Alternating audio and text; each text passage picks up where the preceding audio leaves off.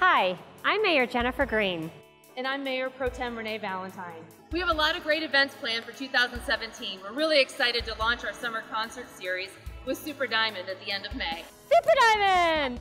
And stay tuned for more concert announcements like the free Tunes for Trails, Perks for Parks that we have coming this June.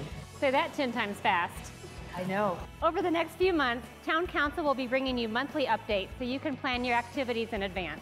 Remember that Festival Park is under construction, so please continue to visit Facebook and the town's website at crgov.com for monthly updates.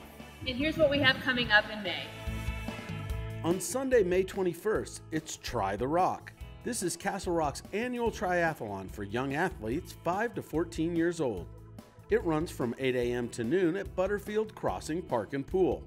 On Saturday, May 27th, the 2017 Summer Concert Series gets off to a rockin' start with supergroup Super Diamond.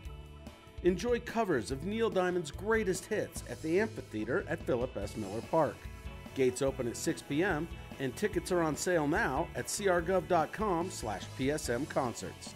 And on Wednesday, May 31st, also at the PSM Amphitheater, the town hosts the annual National Senior Health and Fitness Day from 9 to 11 a.m. Enjoy walking the trails of Philip S. Miller Park, followed by snacks and refreshments. Enjoy all these events. We hope to see you there or here at Philip S. Miller Park. Until then, enjoy Castle Rock in May. Super Diamond!